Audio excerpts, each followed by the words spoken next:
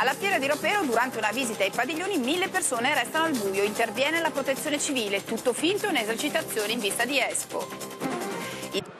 Mille persone restano al buio mentre visitano la fiera di Ropero. Scene di panico e la protezione civile che interviene. Ieri sera le esercitazioni in vista di Expo.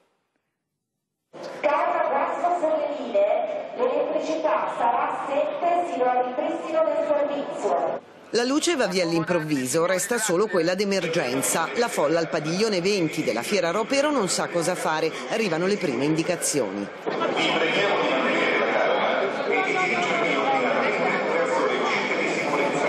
Si sta simulando un blackout. Mille volontari della protezione civile si sono prestati per un'esercitazione in vista di Expo.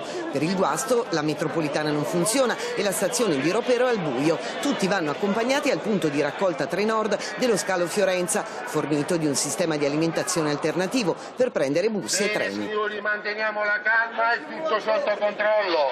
L'evacuazione della fiera prefigura lo scenario di folla possibile per l'esposizione del 2015. Sono attesi oltre 20 milioni di visitatori. Facciamo questa prova di evacuazione che sarà un po' la prova generale dell'evacuazione del sito Expo. L'area non è ancora pronta, ma non appena anche l'area sarà la piastra pronta e avrà il suo piano di emergenza, sicuramente testeremo anche quello, ma devo dire che oggi è già una simulazione decisamente significativa che ci permette già di fare delle valutazioni concrete. Le operazioni sono state gestite da un comitato interforze coordinate dal COM, il centro operativo misto. La protezione civile si prepara per Expo. Abbiamo già pianificato dei corsi di formazione dei volontari che prevedono in particolare la gestione delle lingue e fondamentalmente formazione mirata sempre alla gestione delle folle e del panico. I volontari hanno simulato proteste, malori e risse, ma soprattutto prestato il loro tempo alla collettività.